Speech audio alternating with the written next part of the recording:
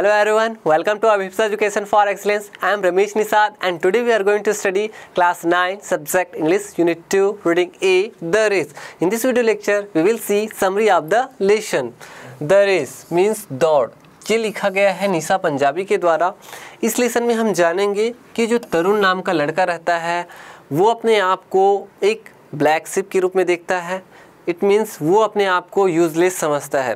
But यही student बार बार क्या है कोशिश करता है बार बार ट्राई करता है और राम नारायण उनको काफ़ी इंस्पायर करते हैं उनको ऑफ़र देते हैं कि यदि तुमने कोशिश की यदि तुमने प्रयास किया तो तुम्हें ट्रेनिंग स्कूल में एडमिशन दिया जाएगा। सो so, आज की स्टोरी में हम जानेंगे कि तरुण कैसे और किस तरह से अपने डिटर्मिनेशन की वजह से अंत में कामयाब हो ही जाता है और ये साबित कर देता है कि ये परिवार में कोई साधारण स्टूडेंट नहीं है कोई साधारण बालक नहीं है बल्कि ये भी कुछ कर सकता है। सिर्फ़ पढ़ाई या सिंगिंग डांसिंग इसी बस में कैरियर नहीं बना सकते बल्कि हम खेल के फ़ील्ड में भी कैरियर बना सकते हैं। सो so, इस तरह से तरुण ने ये सिद्ध कर दिया। So let's start this lesson Tarun was a mediocre student his grades could barely satisfy his parents and he was not a good singer, dancer, painter or even an actor. He always thought of himself as a black sheep of the family. Mediocre means होता है साधारण दर्जे का बेयरली means मुश्किल से satisfy means संतुष्ट करना and तरुण जो था वो औसत दर्जे का स्टूडेंट था और इसके जो मार्क्स आते थे इसके जो नंबर्स आते थे वो मुश्किल से इसकी फैमिली को संतुष्ट कर पाते थे। And he was not a good singer ये एक अच्छा सिंगर नहीं था, ना डांसर था, ना पेंटर था और ना ही एक्टर था। और यह हमेशा क्या सोचता था? यह हमेशा अपने आप को सोचता था ब्लैक सिप के रूप में। फैमिली का एक ब्लैक सिप है मीन्स यूजलेस व्यक्ति, जो किसी काम का ना हो। His elder brother who was pursuing a degree in engineering from a reputed college always made the family proud. But Tarun was never good at anything like that. और तरुण का जो बड़ा भाई था वो काफ़ी रेपुटेड काफ़ी प्रभावित व्यक्ति था और अपने कॉलेज में काफ़ी ख्याति प्राप्त कर चुका था काफ़ी रेपुटेशन प्राप्त कर चुका था जिस पर इसकी फैमिली वालों को काफ़ी गर्व होता था बट तरुण इस फ़ील्ड में बिल्कुल कुछ भी नहीं था जिससे इसकी फैमिली वाले इस पर गर्व करें however he was blessed with the strength of a great athlete. He was an excellent runner. हालाँकि, यह इस पर अच्छे धावक होने का सौभाग्य प्राप्त था he was an excellent runner वह एक शानदार शानदार रनर था, धावक था He would run for hours, be it day or night. Whenever he felt sad and lonely, he exhausted himself by running, thus releasing all his pent-up emotions. और ये घंटों तक दौड़ता था चाहे दिन हो चाहे रात हो वेन एवर जब कभी भी ये अपने आप को फील करता था कि ये काफ़ी दुखी है सैड मिस दुखी लोनली मिस अकेला जब भी ये फील करता था कि ये कभी दुखी या अकेला तो ये दौड़ करके अपने आप को थका देता था और रनिंग के माध्यम से इस तरह से अपनी जो दबी हुई भावनाएँ हैं पेंटअप इमोशंस में दबी हुई भावनाएँ, दबी हुई भावनाओं को वो इस तरह से रिलीज़ करता था, मुक्त करता था। He just had one dream to become the fastest runner in the world इसका एक स्वप्न था और वो स्वप्न था कि ये सब, दुनिया का सबसे तेज धावक बनना चाहता था। Tarun did not know how to achieve his dream और तरुण नहीं जानता था कि इस ड्रीम को, इस स्वप्न को वो कैसे अचीव करे, कैसे हासिल करे, कैसे प्राप्त करे। On one hand his parents hated his running and wanted him to concentrate more on his studies, which he never did. और एक पक्ष ये था कि इसके जो पेरेंट्स थे, वो बिल्कुल भी पसंद नहीं करते थे कि तरुण दौड़े। बल्कि उसके पेरेंट्स पसंद करते थे कि ये पढ़ाई लिखाई में अच्छा से पढ़ाई लिखाई करे।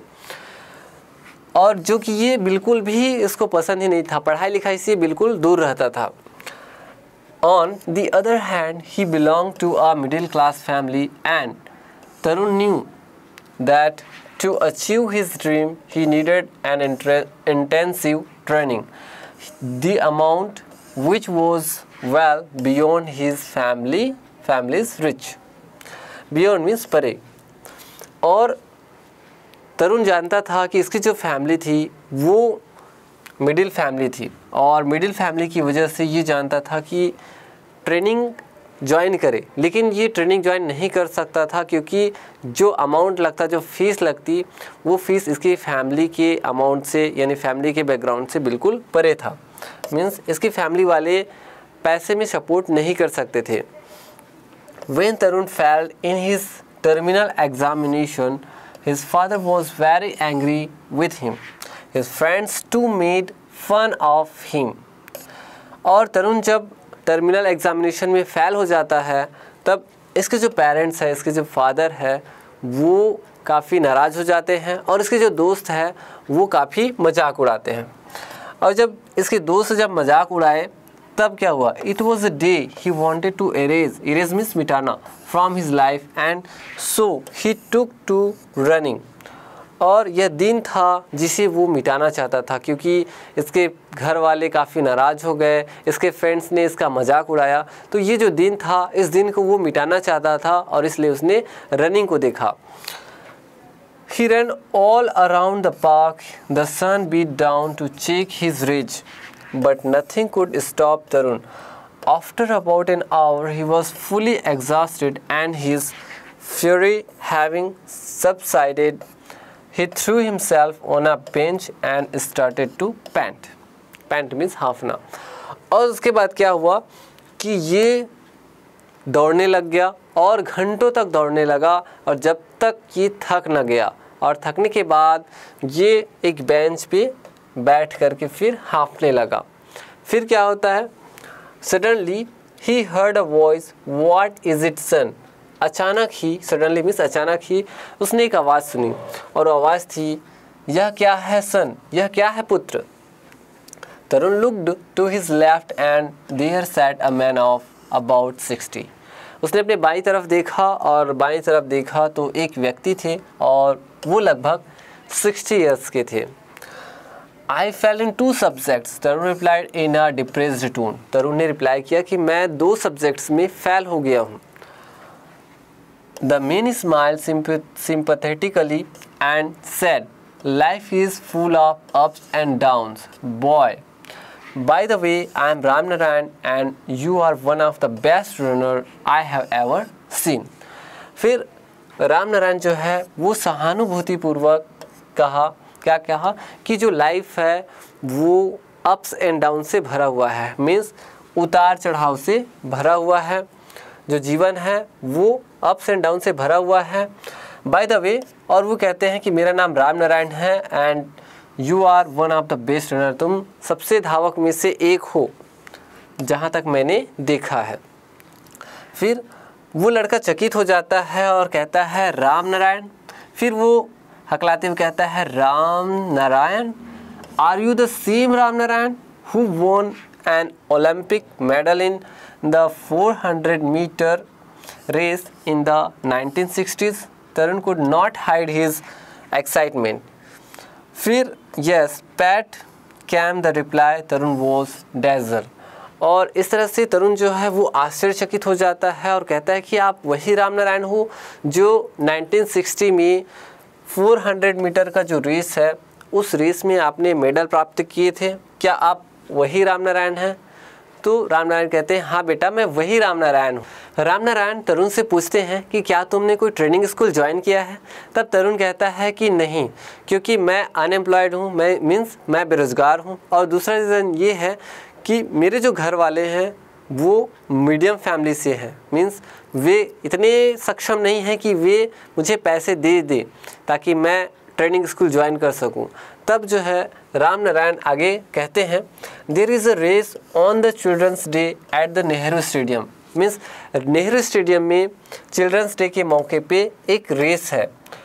Children of your age are competing there if you win that race I will start training you said Ram Narayan. फिर राम नारायण ने कहा कि तुम्हारे एज के जितने भी बच्चे हैं, वो वहाँ कंपटीशन में भाग लेंगे और यदि तुम रेस जीत जाओगे तो तुम्हें मैं ट्रेनिंग दूँगा।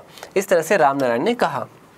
The next day brought a new ray of hope और दूसरे दिन उसके लिए आशा की एक नई किरण दिखाई दी and Tarun got up early had milk and before his mother could finish her query on what he was up to. He ran out and went to the Nehru Stadium to check the details of the race. He was very happy indeed.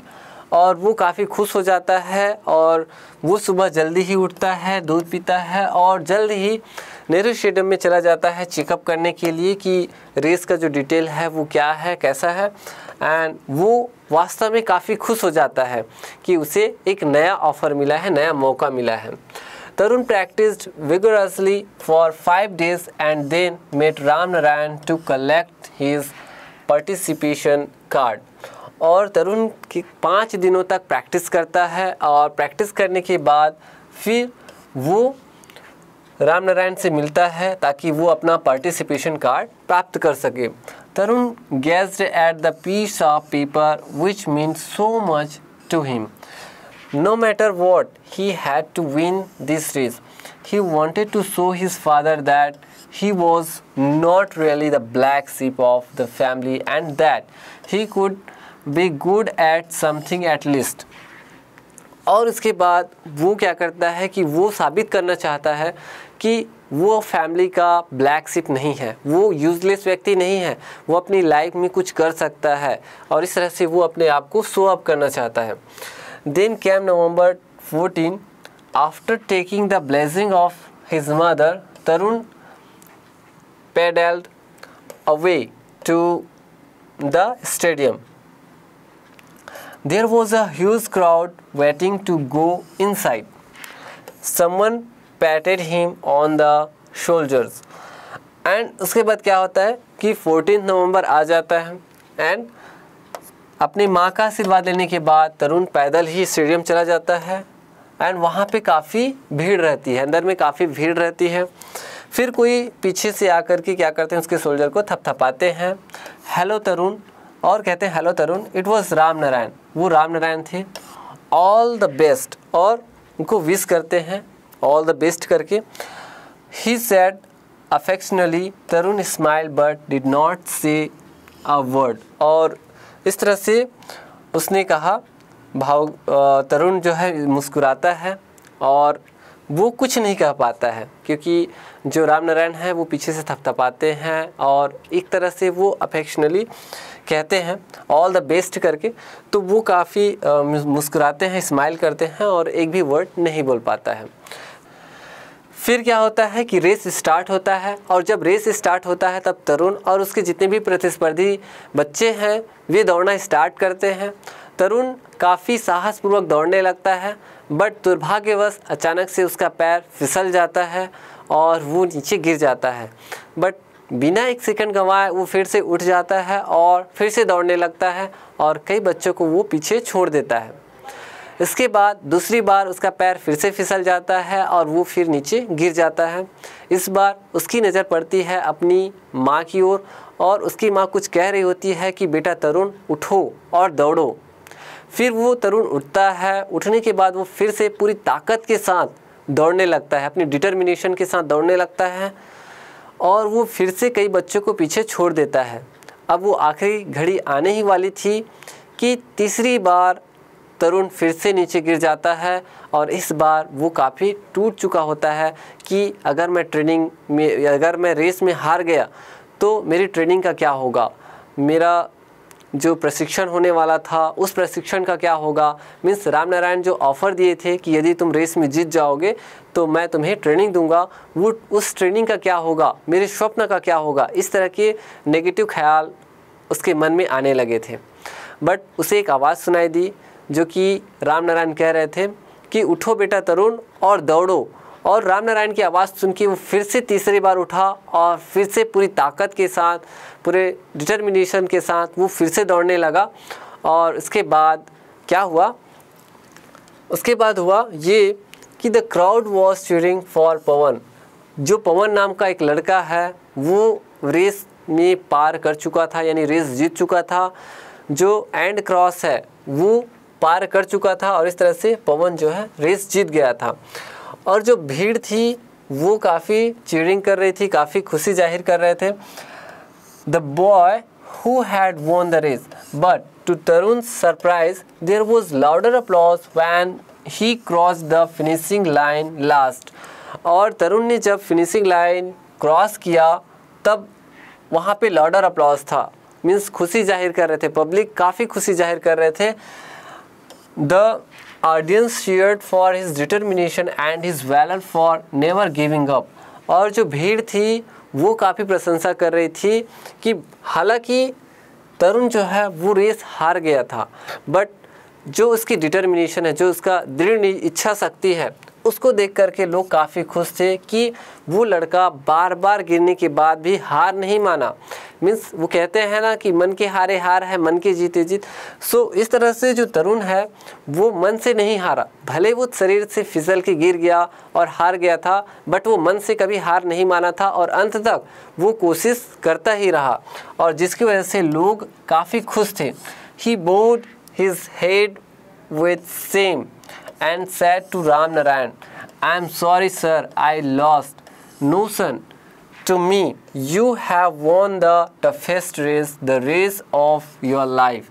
और वो जो है उसने शर्मिंदगी से अपना सिर नीचे किया और क्या राम नारायण से कहा क्या कहा आई एम सॉरी मुझे खेद है कि मैं हार गया और फिर राम नारायण कहते हैं कि no son you have won the toughest race the race of your life तुमने अपनी लाइफ का जो रेस है, दौड़ है, उसको तुमने जीत लिया है, जो कि टफेस्ट है। सबसे जो कठिन जो रेस है, उसको तुमने जीत लिया है।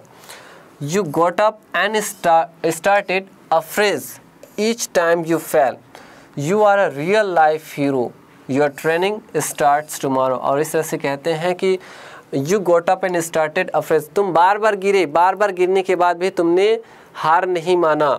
और you are the real life hero और तुम रियल लाइफ के हीरो हो, नायक हो। योर ट्रेनिंग स्टार्ट तुम्हारा और तुम्हारा जो ट्रेनिंग होगा, प्रशिक्षण होगा, वो कल से स्टार्ट होगा। Tarun could not believe his ears tears filled his eyes again he smiled at his mother who hugged him and said, you are the best son in the world. और उसको ये बिलीव नहीं हुआ कि उसकी जो, उसका जो ट्रेनिंग होगा, उसका जो प्रशिक्षण होगा, वो कल से स्टार्ट होगा, उसको अपने कानों पर विश्वास नहीं था और उसकी जो आँखें थी, वो आंसुओं से भरी भरी हुई थी, वो मुस्कुराया और उसकी जो माँ है, वो उसको गले लगाई हग्ड की एंड और कहा you are the best son in the world और तुम इस संसार के सबसे अच्छे पुत्र हो इस तरह से उसकी मम्मी ने कहा। सो so, इस तरह से आज की स्टोरी में हमने देखा कि कैसे तरुण बार बार गिरने के बाद भी मन से हार नहीं मानता है और उसके डिटर्मिनेशन की वजह से राम नारायण उसे ट्रेनिंग देने के लिए अग्री हो जाते हैं और उसे real hero of the life means life के तुम रियल हीरो हो। इस तरह से उसको काफ़ी प्रोत्साहित करते हैं और उसकी जो माँ होती है वो भी काफ़ी प्रोत्साहित करती हैं कि तुम संसार के बेस्ट सन हो सबसे अच्छे पुत्र हो। सो so, इस तरह से हमें कोशिश करनी ही चाहिए। कोशिश करना कभी नहीं छोड़ना चाहिए। I hope you understood this video lecture very well I will meet you in the next video lecture till then thank you